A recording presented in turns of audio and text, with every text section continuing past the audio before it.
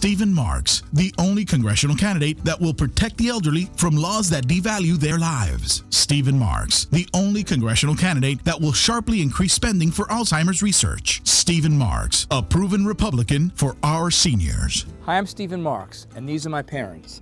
I'm running for Congress because they both just died from our government's policies that make the lives of senior citizens worthless. My dad from medical malpractice, where the law says there is no malpractice for the elderly since they're going to die soon anyway.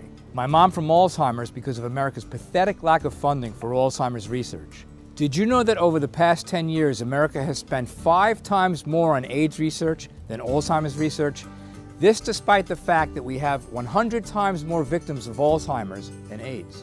I promise when elected to pass legislation never before proposed that makes the lives of senior citizens just as valuable as any other life. I'm Stephen Marks, and for the good of our senior citizens, I approve this message.